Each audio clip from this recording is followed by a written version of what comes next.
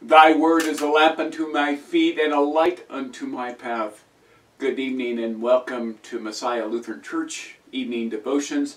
Today is the 21st of May, Anno Domini 2020.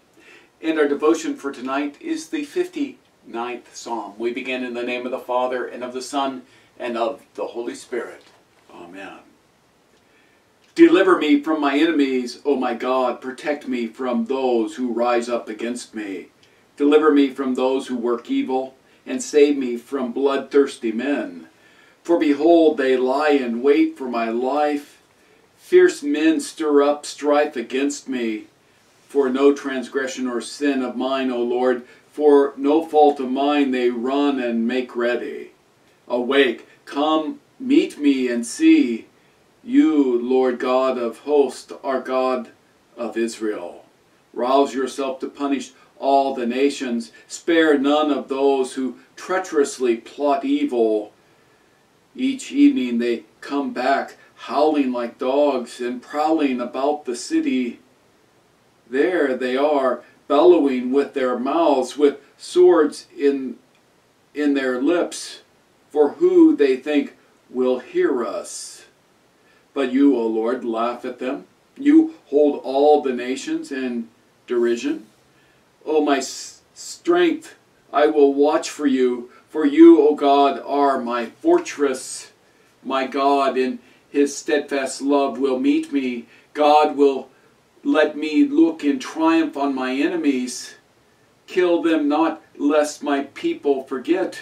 Make them totter by your power and bring them down, O Lord, our shield. For the sin of their mouth, the word of their lips, let them be trapped in their pride, for the cursing and lies that they utter, consume them with wrath.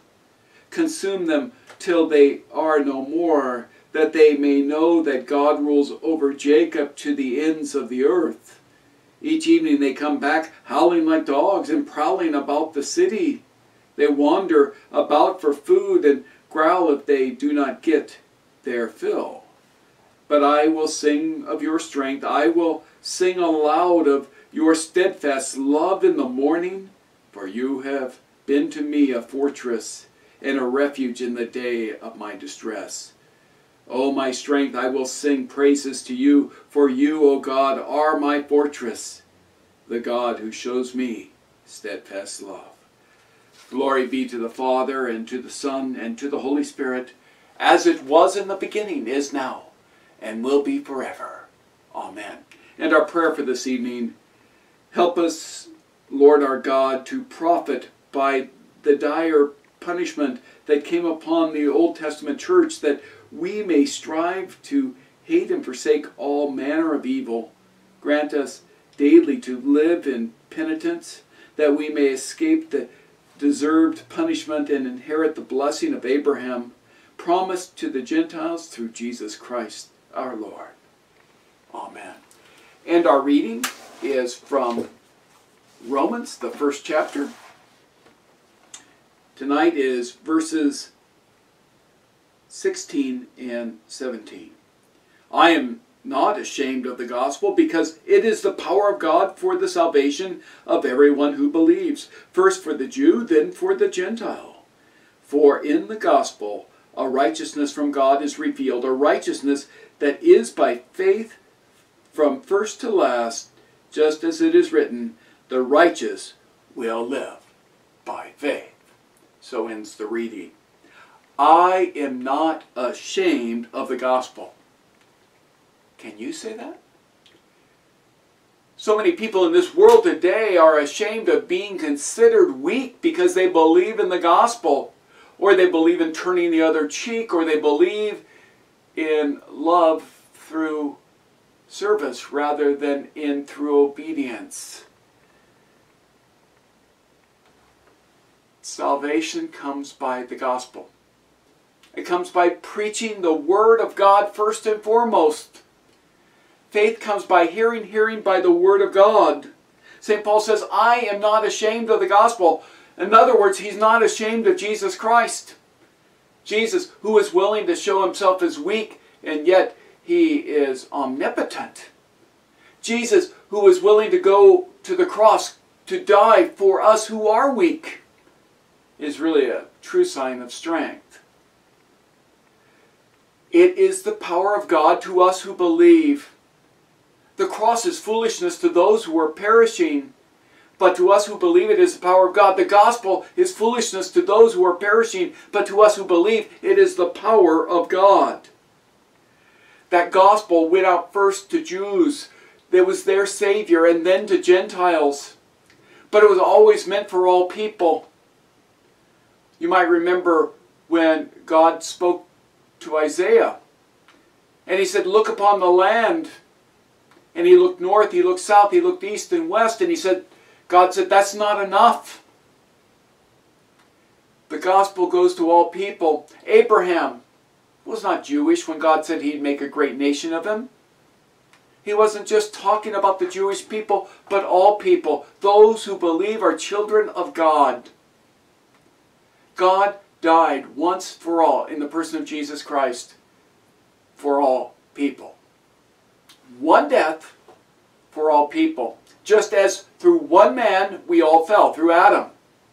Through one man and God, Jesus Christ, we were redeemed. He died for all people. It doesn't mean all people will be saved. There are those that will reject that gift. They will say, no, I've got my own way. First commandment, you shall have no other gods before me. Some people will say, I choose to be my own God. And they disobey that command. The Holy Spirit's job is to preach Jesus into your ears and into your life. But you can reject the Holy Spirit. That's called blasphemy of the Holy Spirit and his message of Jesus Christ.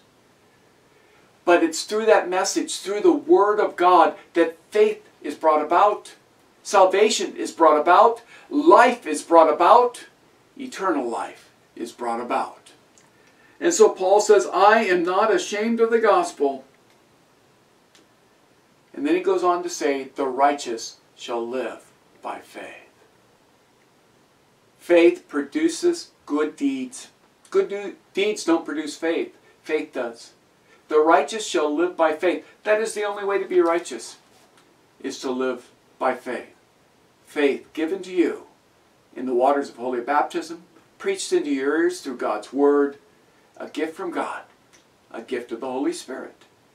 And that's all you really need to know. It's all about what Christ did. And He died for you. He rose for you. He ascended for you. And He's coming back for you. For He loves you. And no greater love is there than this, that a man lays down his life for you. Jesus did just that. And then he took it up again so that he might take you up too. And that's all for tonight. May the Lord bless you and keep you. May the Lord make his face shine upon you, be gracious unto you. May the Lord lift his countenance upon you and give you his peace. In Jesus' name, amen. And I pray you have a wonderful night and a blessed Ascension Day. By the way, just to let you know, uh, we are finally at a point where they're easing things up. We won't be able to meet this Sunday at church, but we will next Sunday on Pentecost. Uh, we are only allowed to have 25 people total there. So we will be asking people if they're going to be attending. You'll probably, probably be getting a call. Uh, there will be certain restrictions and guidelines that go along with that. More information to follow on that. But tonight, rest, be at peace, and know that Jesus is with you. For he said, Lo, I am with you always, even unto the end of the age. God's blessings.